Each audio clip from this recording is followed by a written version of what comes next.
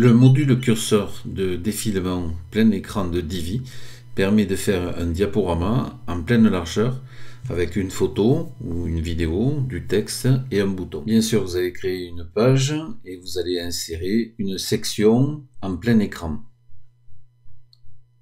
Vous allez rechercher le module curseur de défilement plein écran. Le curseur de défilement plein écran a deux diapositives déjà prêtes avec uniquement du texte. Et donc pour pouvoir les compléter, il va falloir cliquer sur la roue crantée et rentrer les paramètres. Vous allez inscrire le titre.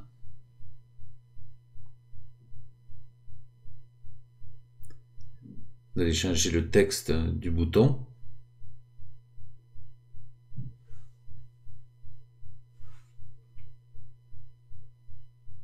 Et vous allez inscrire un texte. Vous pouvez rajouter une image ou une vidéo sur la gauche. Vous cliquez sur Image, vous insérez une adresse web ou alors vous recherchez dans votre bibliothèque euh, l'image. Vous n'oubliez pas de remplir le texte alternatif et la légende.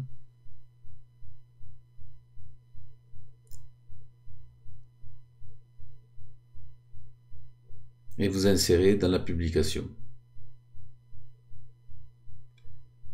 Que la photo apparaît sur la gauche.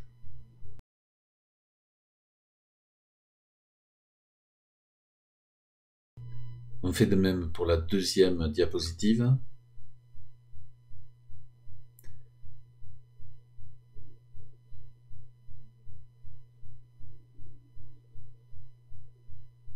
On rajoute une image avec un lien URL que vous avez récupéré sur Internet. Vous rajoutez le texte alternatif et la légende.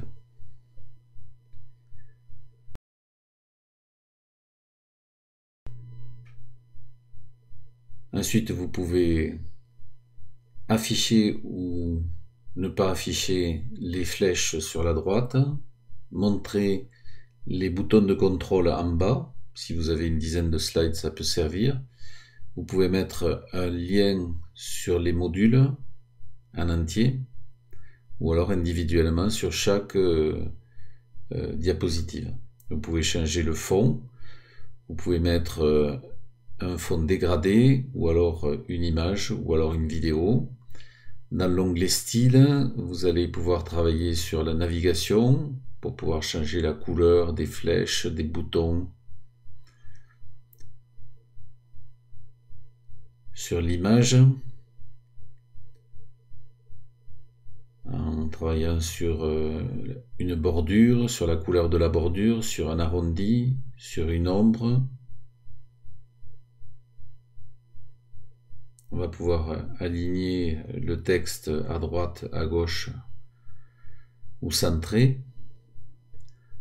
Ensuite, on peut travailler sur le titre lui-même euh, en H2. On peut changer sa couleur, on peut changer son alignement, on peut changer le style, on peut travailler sur le texte avec la taille du texte.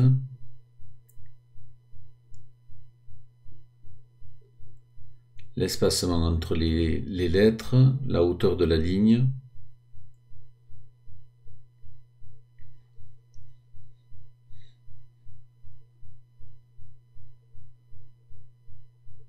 On va travailler de même sur le corps du texte, sur la couleur, sur la taille du texte, sur l'espacement entre les lettres, la hauteur de la ligne.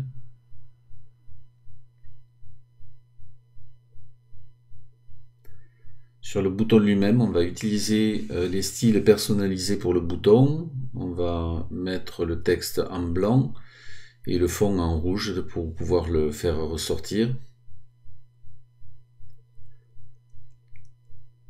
On peut agrandir la largeur de la bordure. On peut mettre euh, soit une image aussi en fond ou alors une vidéo, mais sur un bouton ça va pas donner grand chose. Ensuite, on va pouvoir travailler sur la largeur de la bordure. On va pouvoir changer sa couleur.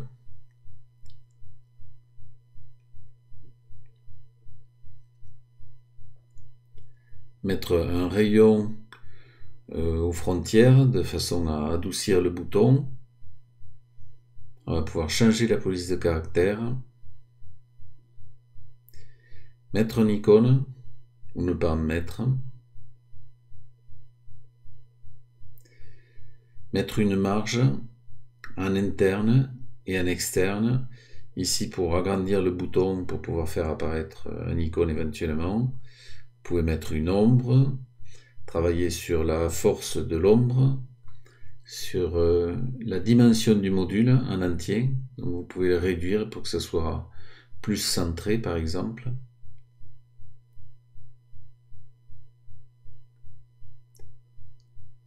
L'espacement euh, du module en entier, donc avec euh, les marges externes et les marges internes.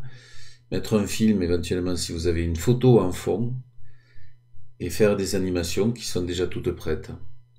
Ensuite, dans Avancer, vous allez changer euh, l'identifiant, euh, l'ID et les CSS, travailler sur les attributs, la visibilité pour qu'il soit visible sur les téléphones, les tablettes euh, et les PC,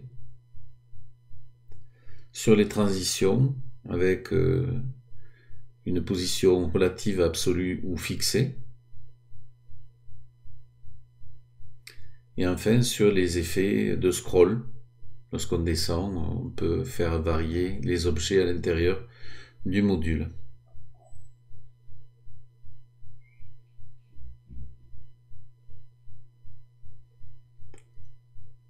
Sur le contenu en entier, on va pouvoir changer aussi euh, pas mal de paramètres. Et on va retrouver grosso modo les mêmes paramètres qu'on trouve euh, sur euh, chaque diapositive. Voilà, le module est prêt. Voici ce que ça donne en vrai. N'hésitez pas à retrouver toutes les informations sur, sur la description de la vidéo et sur l'article sur monrépondeurautomatique.com. Abonnez-vous à la chaîne et puis likez la vidéo. À bientôt.